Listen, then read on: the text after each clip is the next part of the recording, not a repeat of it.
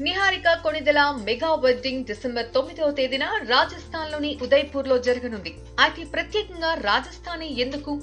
అది తెలియాలంటే గతంలో రాజస్థానీ డెస్టినేషన్ వెడ్డింగ్ జరుపుకున్న సెలబ్రిటీల లిస్ట్ బయటకు తీయాల్సిందే.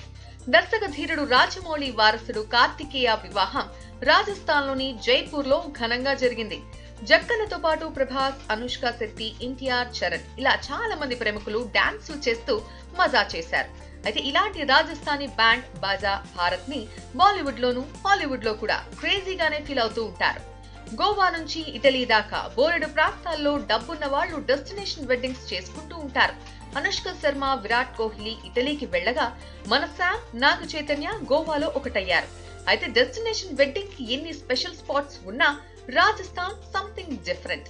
ఇక్కడ ఒకప్పటి రాజ్పుత్ రాజుల మహారాజ భవనాలు ఈనాటికి చెక్కు చెదరక కళ్ళు చెదరగొట్టేస్తూ ఉంటాయి.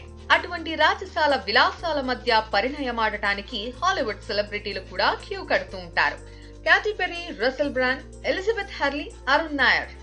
రాజస్థాన్లోని పెళ్ళిపీటలెక్కారు. ప్రియాంక చోప్రా నిల్ నితిన్ ముఖేష్ రవీనా టాండన్ మన సౌత్ బ్యూటీ శ్రియా శరణ్ కూడా రాజస్థాన్లోని భార్యాభర్తలయ్యారు ఇక ఇప్పుడు లేటెస్ట్గా నిహారిక కూడా రాజస్థానీ రాయల్ బ్రైడ్స్ లిస్ట్లో చేరిపోతోంది.